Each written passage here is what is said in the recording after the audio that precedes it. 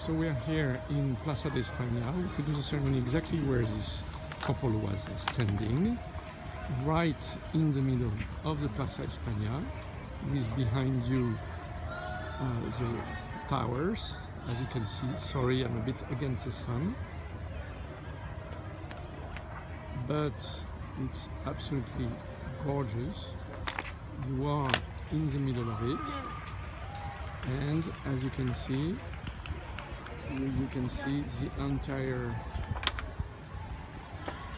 I was trying to get around the pole right there for you to see uh, the view from the exact ceremony location. So I'm going to do 360 degrees for you to see. As you can see it's very quiet.